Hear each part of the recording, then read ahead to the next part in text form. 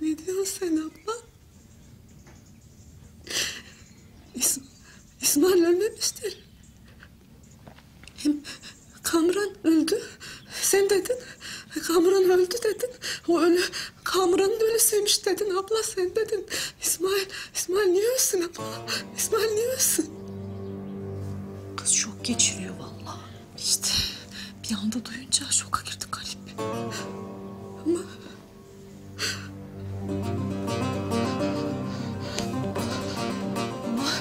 İsmail ölse... Abla İsmail ölse niye Kamran sansınlar? Kamran mı sanarlar abla İsmail ölse? İsmail ölmemiştir abla. İsmail değildir abla, İsmail değildir abla. Abla İsmail değildir. Değildi abla,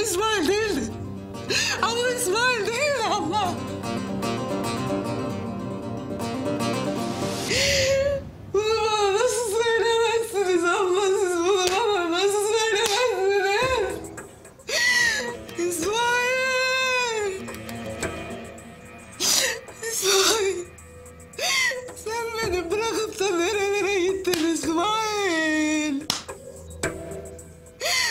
Hani artık ağlamayacaktık İsmail. Hani artık ağlamayacaktık İsmail.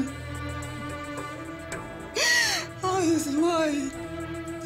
Mezarında adı bile yok İsmail. Adı olmasa ne olur? Sen onun orada yattığını biliyor ya gidersin mezarına Fatiha'nı okursun işte. Kız anne. Yalan mı ya? Allah Allah. Adamın adı mezar taşında yazmıyor diye İsmail'i öbür tarafta karıştıracaklar mı? Aa, siz de adamı günaha sokmayın ha tövbe tövbe.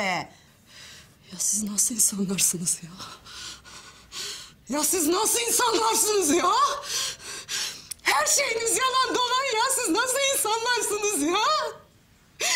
Kamran'ın öldüğünü bile bile nasıl susarsınız siz ya? Nasıl susarsınız? Sus be. Allah Allah. Senin her şeyin doğru da bizimki yalan.